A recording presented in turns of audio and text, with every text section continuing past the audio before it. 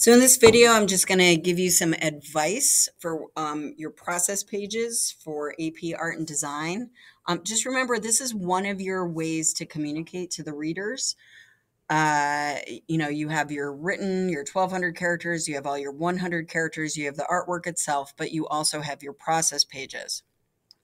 So, uh, next slide. Okay, so, from the Chief AP Readers Report, um, two things that I pulled out of there is I'm going to actually talk about the bottom before the top, uh, but that process images um, were submitted, sorry, progress submitted images were submitted as process images. And that was a common misconception that happened last year on the test. And here's an example like, so progress is just kind of, I did this and then I added this to it and this to it, and now it's done right? That's progress. What they really want to see is the entire process. So here is the language that they use in the Chief AP Readers Report. Uh, process images merely show the stages of creating work of art and design. But successful process images include the research, developmental sketches, and media and experimentations that provide evidence of thinking and the evolution of ideas. They want to see the whole journey. They want to see what kind of ideas came to you, how you pushed yourself, what did you plan, um, what did you try out, what went into like even you walking out there with your camera in the first place what are the different kinds of things that you shot? What are the different kinds of ways that you edited? All of that stuff that goes into the journey. And then in terms of materials and processes, um, the problem that they found is that the connections between like what people shot and how they shot them and how they edited them um, didn't always get the idea across. It was kind of like, well, why did they use these colors? Why did they edit it this way? Why did they shoot at this angle? That doesn't help the main idea of the image.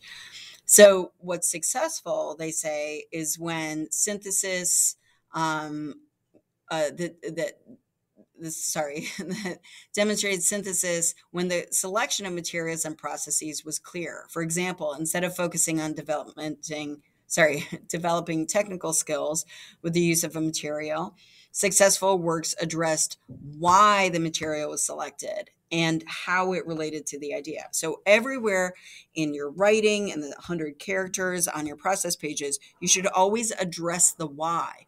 Why did you use this color? Why did you edit it this way? Why did you use this focal length?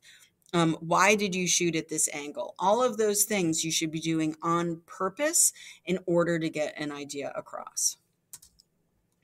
So, my advice for your process pages is you know, you, you have some made already. Um, but the first thing is make the layout neat and orderly. So, like here, you know, things don't line up. Um, if you ever read a book, you'll notice things, you know, when you have big blocks of text, that's not center justified, it's always left justified. So, if you have a lot of text, you want to left justify it. But I would caution you that readers do not actually have to read anything on your um, process slides. So, you know, just make sure that you're maybe using saying things as briefly as possible to get your idea across. You know nothing here is lined up.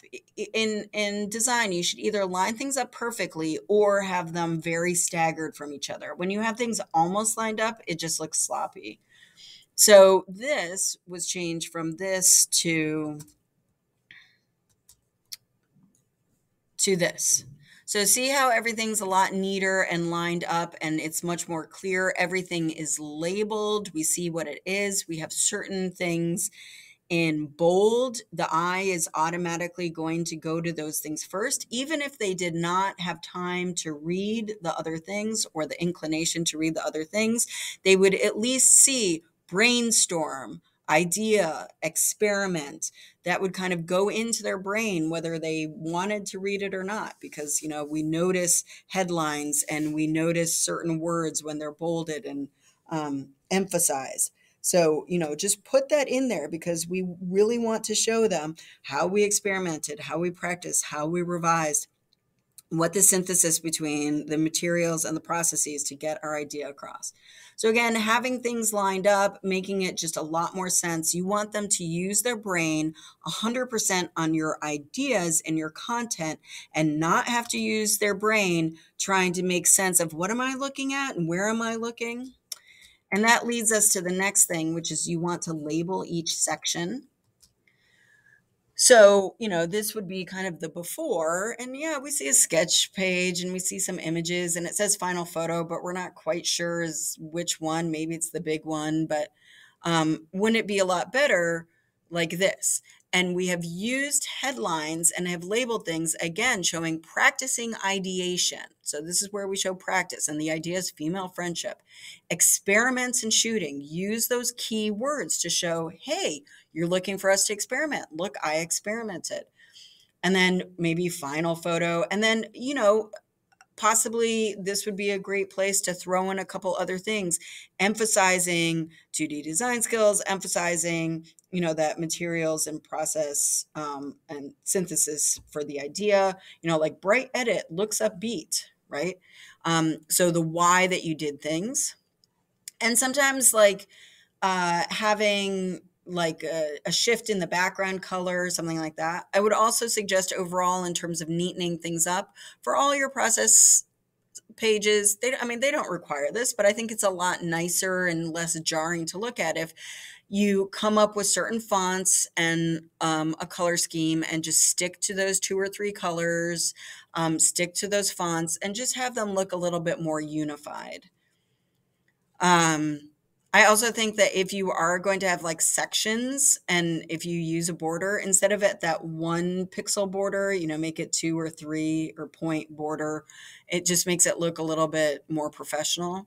So here we have everything labeled planning, research and inspiration, process, final product, and it helps guide the person through so they know exactly what they're looking at. And again, they can spend more time thinking about your content than they do your layout.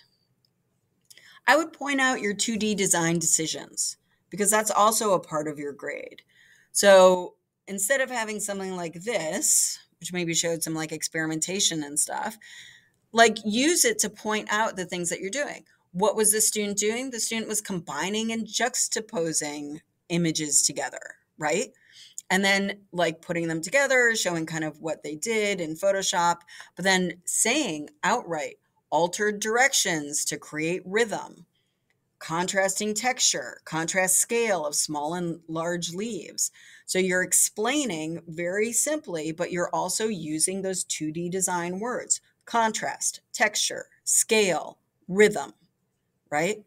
You have those in there. So you're kind of shoving it in their face like, look, I am using 2D design skills. And then you want to explain the why. So it's not just like, oh, I just went around and took photos of whatever I wanted. No, you had reasons. You made active choices about what you photographed. So, like, this would be, this was actually submitted by one of my students last year, but I would maybe change it up and just say, like, original photo and then process an idea. So, converted to black and white. Why did they convert it to black and white? To give it a colder feeling keep the sign uh, color in the sign when the rest is black and white. Why? To emphasize the neon glowing feeling. Here they made it darker. Why? Because they wanted more contrast to emphasize the artificial light. Emphasis is also one of those 2D design skills. So, again, using the AP art and design vocabulary and what appears in the rubric and showing them this is exactly where I did this. So I think this is a uh, maybe a little bit better than the last version again because it's pointing out process it's pointing out idea. And overall this shows experimentation. So it shows both experimentation and synthesis of materials and process uh, to get the idea across. Here here's another one. Using that keyword what's the idea? It's recreating memories. What was the process? You know simplistic images to show the idea of memory um, nostalgic activities are some of the things that you would photograph. So those are your materials. Whatever you photograph is your materials. You know, surfing, crabbing, snorkeling, process shooting from different angles, getting shadows and contrast. That's part of the way you would take the photos, using nostalgic colors. All of this stuff on the right side is to get this stuff on the left side across. And again, here it shows some of the planning for it and some of the ideation. Then with your tree diagram, so I have my students do a tree diagram that shows their whole journey. I would put like SI journey or my experimentation through my sustained investigation, something like that, and then label each part with a phrase describing that part of like the branch off the tree. So that anyone looking at this would understand, maybe even someone who's not trained in AP would understand, oh, what is this? This is your journey. This was your starting idea. It led to this, which was artificial light sources, which led to this, which is setting up artificial light sources with portraits, which led to this, which was recreating light in Photoshop. Uh, another branch off the tree was using fire as a light source, which led to warm and cool colors. Another thing was highlighting street lights and reflections, which led to city lights. Another thing was artificial lights through the window and cinematic and light coming through the window with the subject. So showing them really this led to this, which also led to this other thing, and showing them the journey of all the different things you've experimented and all the ideas that you've gone through um, for this uh, year in terms of making your sustained investigation.